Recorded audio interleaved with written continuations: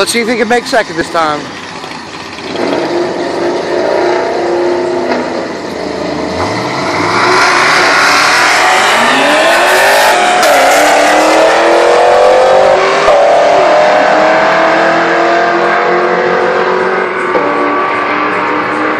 Ten ninety one and one hundred thirty four.